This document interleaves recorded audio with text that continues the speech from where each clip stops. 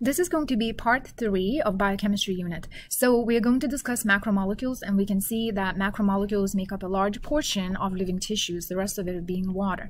And there are four different classes of macromolecules. We have proteins, we have nucleic acids, carbohydrates, and lipids. So macromolecules are made up of smaller units called monomers. So these monomers are going to be linked into polymers and they are linked by covalent bonding. So if we look at a protein, we're going to see that those smaller units are going to be amino acids. If we look at the carbohydrate, we're going to see smaller units are monosaccharides. And nucleic acids are going to be made um, by linking nucleotides together. There is an exception as far as polymers go because uh, lipids are actually not true polymers. And we understand that lipids are nonpolar hydrophobic type of molecules so they're not going to link they're not going to link up like the rest of the polymers um, they're going to interact by hydrophobic interactions and van der Waals, and they're going to be aggregating together into these little lipid droplets and they are going to be excluded by water because water molecules are polar and there's there are hydrogen bonds that are happening. So those are going to be stronger than hydrophobic interactions. So lipids will aggregate together and you can see here in a adipocyte cell these are the accumulations of little fat droplets and yes they are made up of smaller units and then we're going to discuss them when we get to that part so how do we actually form a polymer so through condensation reaction. You can also call condensation reaction dehydration synthesis because this is exactly what's happening here. If we have a um, a shorter polymer. Let's say this is unit one, this is two, and we want to add monomer number three, you can see that functional groups are going to come together and they're going to react. And of course there's an enzyme that's going to facilitate this reaction. So when the functional groups come together they will form water. Water is going to be removed and this is how the actual covalent bond um, is going to form between the units. So the opposite of condensation or dehydration would be hydrolysis. Hydrolysis, that means we are going to be adding water to be able to break the bond, digest this long polymer. And um, the addition of water, notice, restores the functional groups. And yes, there is an enzyme that's going to carry out or help with the facilitation of this set of reactions. So we're looking at a breakdown of a, of a polymer into smaller units. So, and yes, this is digestion, just like you can imagine if you ate food and a piece of protein, the piece of protein was digested into individual amino acids, and then your body will have these building blocks to build their own muscle or their own um, protein, whatever it is that they're trying to do. So, all right, let's talk about the carbohydrates. So carbohydrates are composed of carbon, hydrogen, and oxygen in a ratio of 1 to 2 to 1. And uh, in order to qualify as a monosaccharide, a simple sugar, we would have to see three carbon at atoms in a compound, also several hydroxyl groups, and also one carbonyl group. And um, as far as the function goes, carbohydrates, you already know that they are going to provide energy to fuel cellular reactions because we have mitochondria that needs to receive glucose and oxygen in order to synthesize ATP. And ATP are the molecules that your cells can utilize for energy. Um, then carbohydrates can be stored so that's the energy storage. They can be stored as glycogen or starches. If you're an animal, you will store carbohydrates in the form of glycogen. If you're a plant, you will store carbohydrates in the form of starches. Um, carbohydrates, sugars can also serve as raw materials. So if you look at DNA or RNA, you're going to see that a part of a nucleotide is sugar. Remember, nucleotide consists of sugar, phosphate, and the base. So yes, there is a sugar molecule, deoxyribose in DNA and ribose in RNA. Um, carbohydrates can also be located or they are located in the cell walls of plants. And examples would be cellulose and um, cell walls are also present in in fungi. So but you'll see a different component there. There's chitin in the cell walls. So again this provides structural support. And then carbohydrates can be used for cell identification and uh, signaling immune response. So for example if you have a cell you can um, you, you're going to notice that there is a, a specific chain of sugar molecules that distinguish one cell from the other. And for example, people that get organ transplants, um, they would have different patterns in the sugar chains. So it means the immune system would recognize these different patterns and would attack the organ. So there, there would be an organ failure or rejection. So it means a close match needs to be um, you, so a person would have to get an organ from a very very close match and then also take the immune suppressant medication for the rest of their life. So those sugar chains serve as id tags. So and as i said before they are unique to every organism to every person. So what would be the simple form of sugar? That would be a monosaccharide, and you can see these are different isomers, same molecular formula, different architectural structure, and examples of polymers, polysaccharides that we're going to discuss would be starches, cellulose, glycogen, and chitin.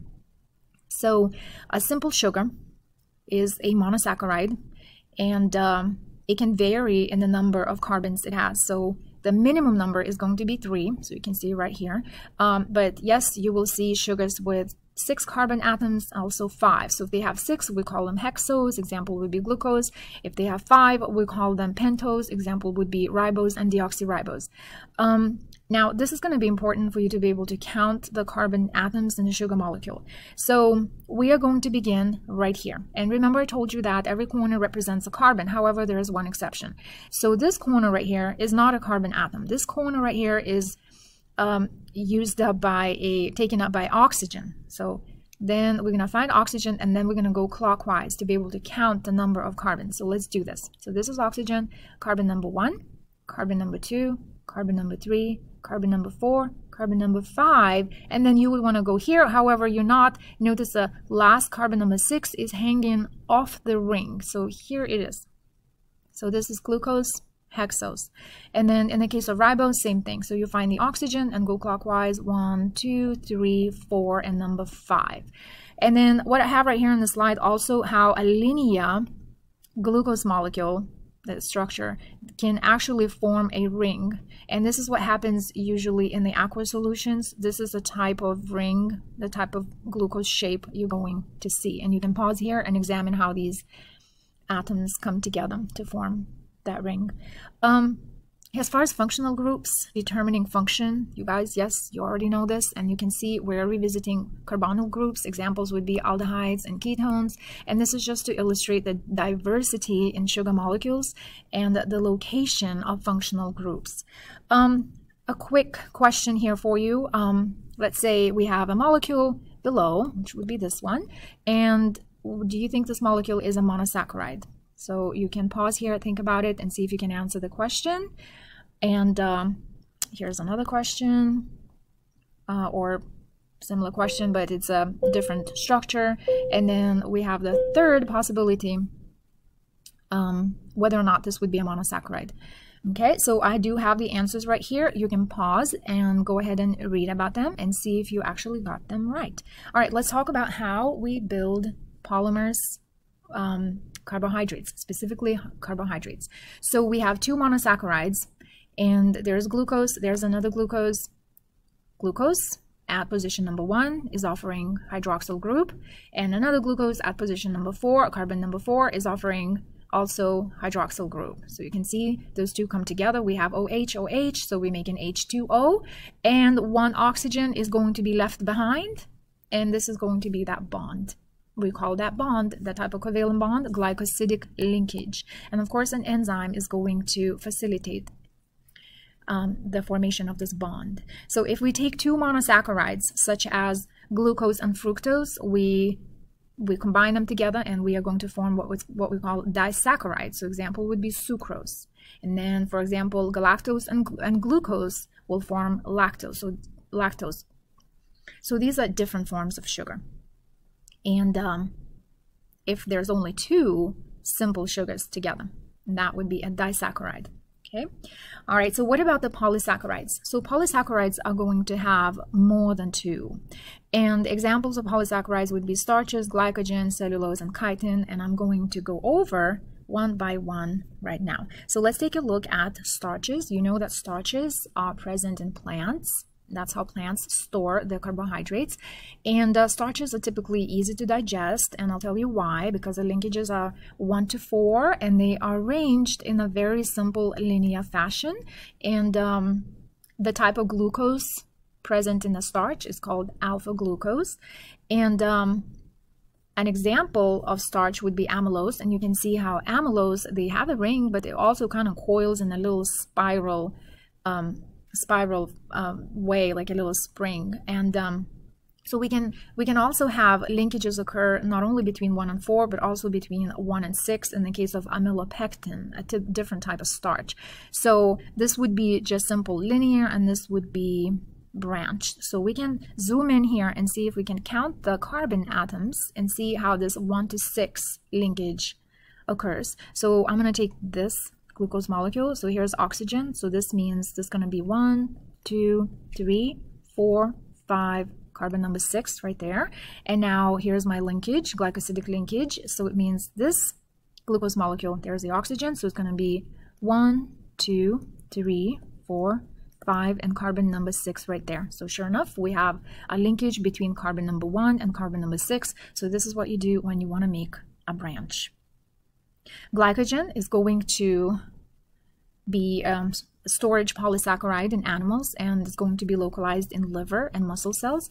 Uh, for example, when your blood sugar levels drop, that means you have to restore the balance and maintain homeostasis. Glycogen is going to be broken down. So all these individual glucose molecules are going to be broken down and released into the bloodstream. So that way they can be carried um, and delivered to your cells and your cells have mitochondria and mitochondria is going to convert glucose and oxygen into ATP so that you can continue with energy production.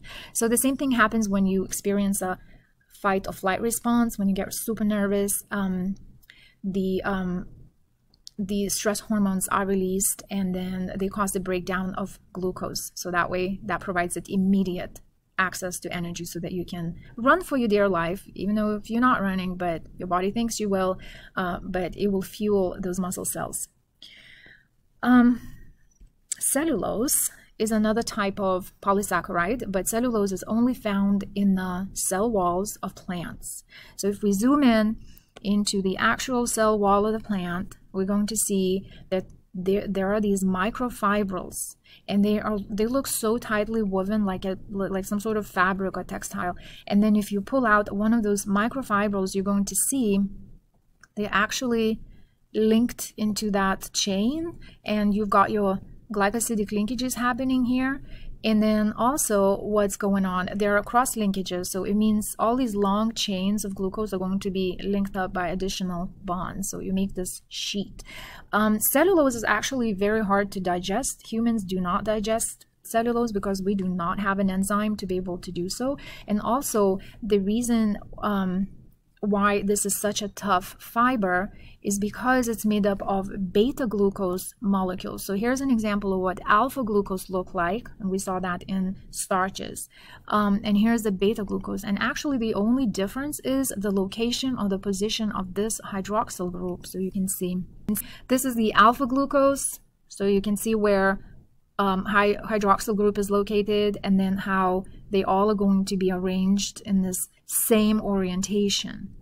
Okay, but now if you take the beta glucose that that makes up the cellulose, notice that ox uh, the hydroxyl group is actually located right here, the one that's going to participate in the formation of the bond. And then here's another hydroxyl group that's right here. So imagine if you put two beta glucose molecules so it means we're looking at, so this is one, this is two, so we need to form a bond right here. Do you see how far away they are from one another?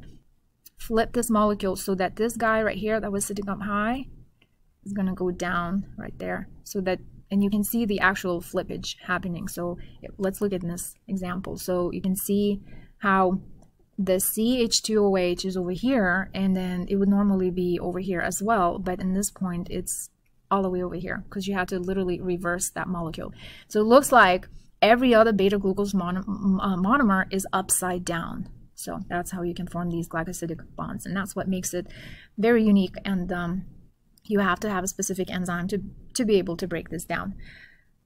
Um, the last uh, polymer and polysaccharide that one I, that I want to address is chitin. So chitin is a structural material that is found in fungal cell walls and also in arthropods. If you look at their exoskeletons, you're going to see they have this very crunchy, very tough, resistant surface. And um, the actual chitin is not completely um, sugar molecules. It's actually um, a derivative of glucose. And then if you look at it, you're going to see that there is a sugar molecule, but there is also the presence of nitrogen.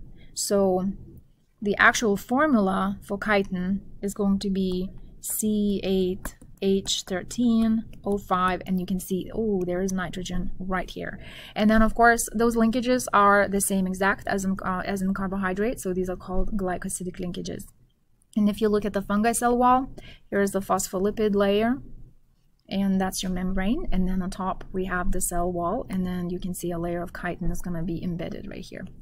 Okay? Alrighty that will do it for now